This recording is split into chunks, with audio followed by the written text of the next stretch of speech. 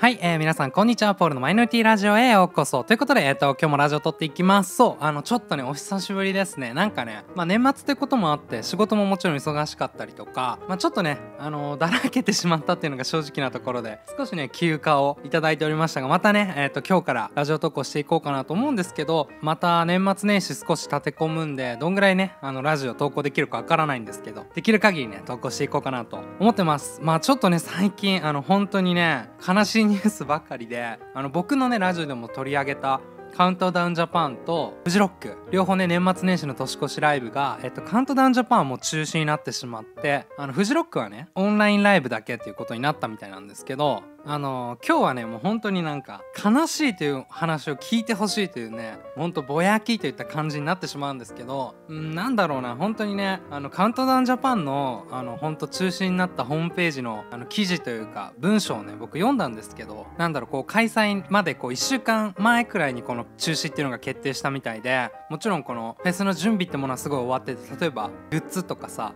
いろいろそれはもうアーティストもさプレイリスト考えてセットリストかセットリスト考えてもちろんちゃんと練習もしてさそのライブに向けていろいろ準備をさいろんなバンド進めてた中でこの中止っていうのはねすごく残念だなと思います。カウントダウンジャパンって本当にそのえーと、幕張メッセでさ大規模にやるフェスだし全国からいろんな人が集まってその年越しライブを楽しむっていう毎年の恒例行事がねこうやって中止になってしまうっていうのはすごくねうんなんかすごい本当に残念で、うん、なんか悔しいなって思います。本当ね誰を恨むでもないんだけどなんかね残念ですよね。やっぱりさなんか本当にいろんなさことなんか何をされてもすごくさ悔しい時とかいろいろあると思うけどいろんな人のそのなんだろう行為っていうか思いをさ込めて例えば作った作品とかほんと映画がさあの逮捕されて延期されちゃうとかもすごい同じ気持ちになったりするんだけど大勢の人がこうその一つのものとか行事に対してすごく取り組んだものがこうやって開催されなかったりとかすると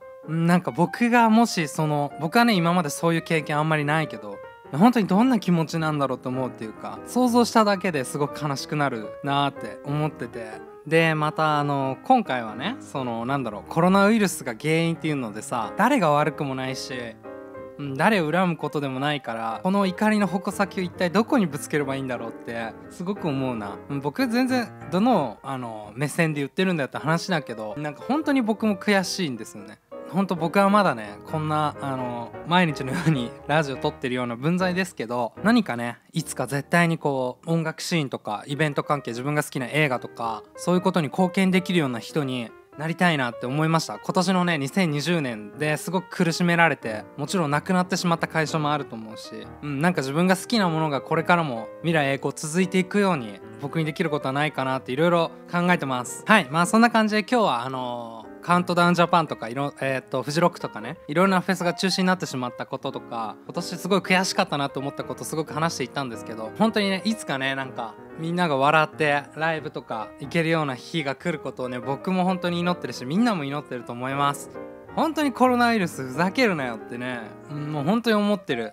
うん、まあできること着々とやっていくことしかないと思うんですけど現状としてはなんか本当にしっかりさあのアルコール除菌するもそうだしこう大勢いるとこには自分が集まらないってことでいろんな人の感染を防ぐって思うから本当になんだろう地球温暖化と同じ考えっていうか一人一人がしっかりやっていかないと解消されないことですごく難しい議題というか、うん、あの内容だと思うんですけどコロナウイルスが終わることをね祈って行動ねしていきましょうというところであの今日おしまいにしたいと思うんですけどちょっとね久しぶりのラジオすぎてやっぱりちょっと1週間とか撮らなくなると緊張するなって毎回思ってますんでどんなに忙しくても僕もこうやって少しずつねコンスタントに動画出せたらいいなとはい。なんか今日今話してて思いました。まあこうやっていろいろね音楽の話とか最近はあのネットフリックスの今の国のアリスの動画すごく再生されたりしててまあそうやって映画とかドラマの話もするしなんか自分が好きなこととかいろいろなんか会話できるようなね最近少しずつコメントもいただけるようになってきたりしてすごくね嬉しいんで是非なんかあのコメントたくさん欲しいなと思ってます。あとはまああの